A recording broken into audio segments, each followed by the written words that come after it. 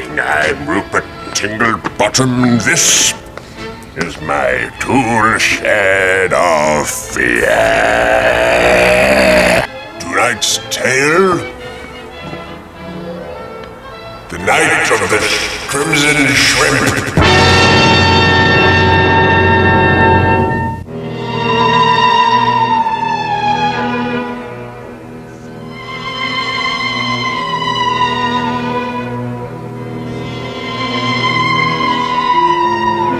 It was a cuckoo day in Liverpool when the two goons from Psycho Motel dragged their heels into this people's humble office. There was something strange in the air, and not just a stench of cheap and dizzy floozies drenching Mickey Finn after a wild clam bake that these two goombas dragged in with them. Though that might have just been my laundry on the radiator.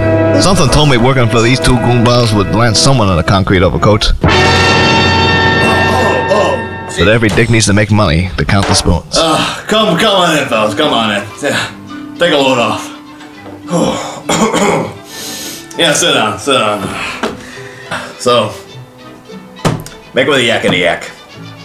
I'm Rupert Tinglebottom, and this is my associate Joe.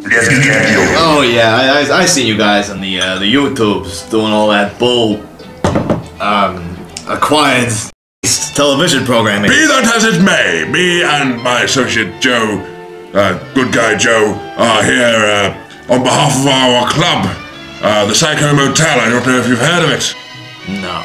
Yes, well, anyway, it seems we've been running into a spot of bother when it comes to distributing our advertisements about the good city of Liverpool. We put the posters up, and we returned to them, and they've mysteriously vanished into the thin air. Nobody knows why they do it. Perhaps they don't, Okay. or so they think. So, um, is there any uh, you know broads or dames you might have uh, ticked off recently? Oh, no, no, Yeah, yes, no, yes. Is there anyone who uh, may feel threatened by you? I tell you what it is, motherfucking janitor asshole chicken and maggot knots taking them down. Replace they replace on top. They no respect. Why can't they love each other's times? I got my boys together to break their legs, but Tinglebottom says we gotta do bullshits like this for us, like gentlemen. So, does this uh, Psycho Motel have a flyer currently in circulation? Well, it's funny you should mention that. It just so happens that we do. Take it away, Joe. Yeah, and the next Psycho Motel is on Wednesday, freaks. And of the legendary Shack Shakers, alright, the baggity wagon. Hank Williams 3 says, Best damn band in America. Biafra from out the dead Kennedy says. J.D. Wilkes is the last great rock and roll frontman. That Robert Plant, what was it that Jimmy Page says?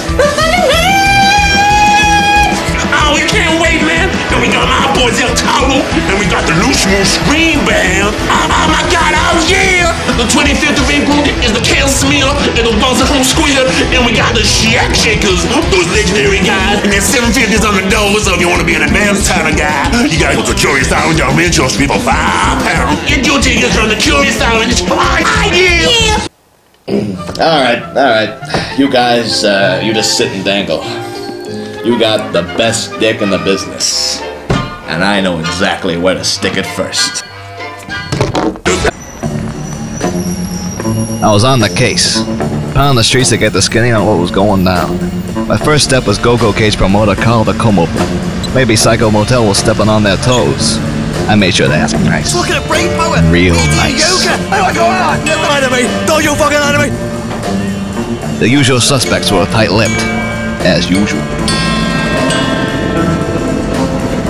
The trail seemed deader than a dinosaur's droopy dangle. I squeezed the local dirtbags into the gin mills for help. They didn't take too kindly. After pounding the beat for a few hours, I was ready to wash my hands of the whole thing. Being a people might seem like a lock in the movies, but it sure ain't no barrel of laughs.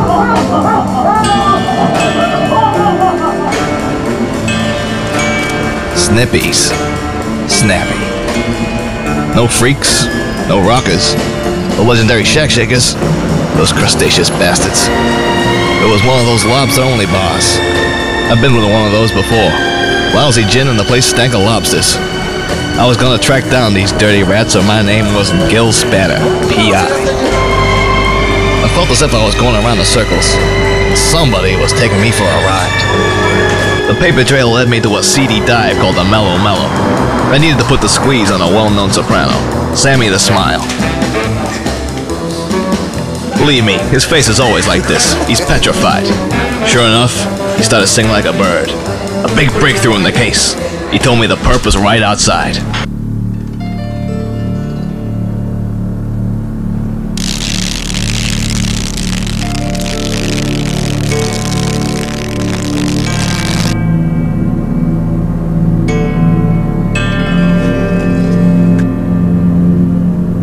So was right.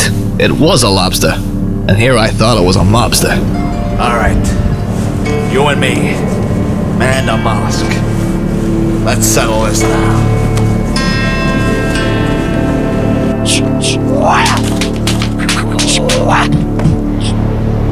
Lobster style is immensely strong and immune to nearly any weapons, and when used properly, it is almost undefeatable. Oh,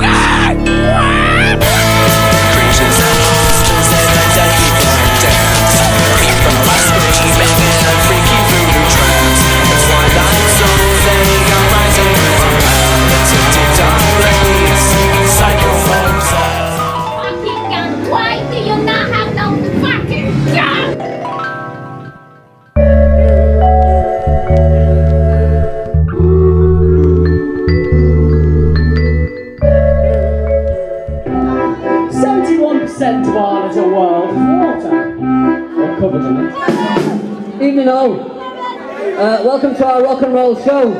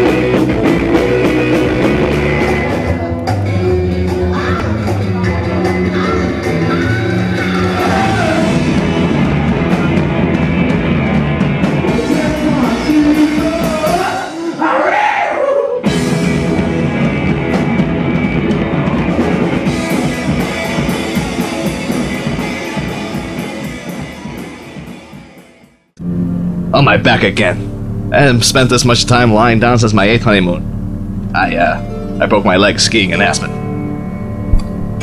The knock on the head shook something loose. Maybe I had been to this psycho motel before.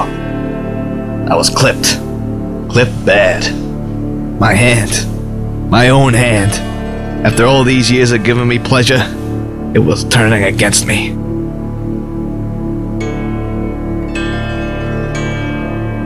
Then it hit me like a ton of bricks. I should have known from what that freak in the office said.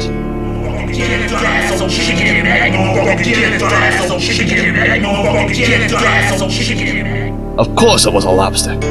This case was tough. It turns out lobsters are harder to catch than crabs.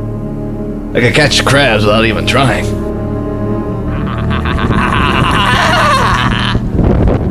I tried to get back on the case, but I started to feel woozy. Couldn't think straight. I felt as if I had just downed two liters of moonshine and had a rough ride on the hot squat. No, get out of here! Get out of here! I was getting more shellfish by the second. I wasn't feeling myself. Honestly, my hands were just in my pockets. Oh god, so woozy. Need to adjust tie. Not feeling the best right now. Can't go on. Must go on. Need to get to salt water.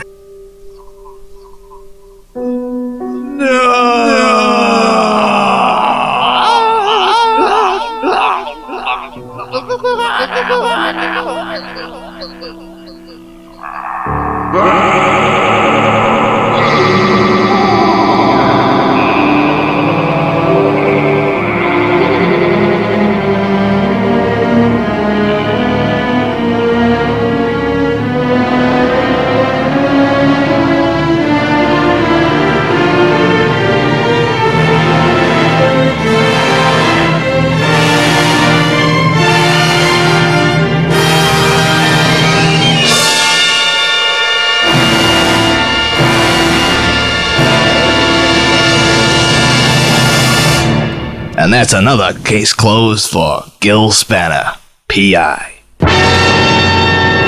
hope you youngsters have learned a lesson from tonight's little tale. You should never fool around with rogue lobster people in an urban environment, or else you will be turned into some form of crustaceous humanoid. A good night. You should go and watch the legendary Shack Shakers at Psycho Motel on April the 25th instead.